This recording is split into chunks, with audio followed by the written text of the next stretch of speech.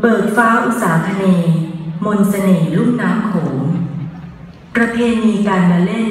ของดินแดนแห่งท้องทะเลทางตอนใต้ของไทยที่งดงาม ผสมผสานกับดินแดนลุ่มน้ำโขง ทางภาคตะวันออกเฉียงเหนือของไทย ที่สามารถเชื่อมสัมพันธ์กันอย่างลงตัวและสนุกสนาน Combination dance from southern and northeastern Thailand. Spectacle which contrasts two colorful and unique styles of dance from the far south and the northeast, known as the Isan region.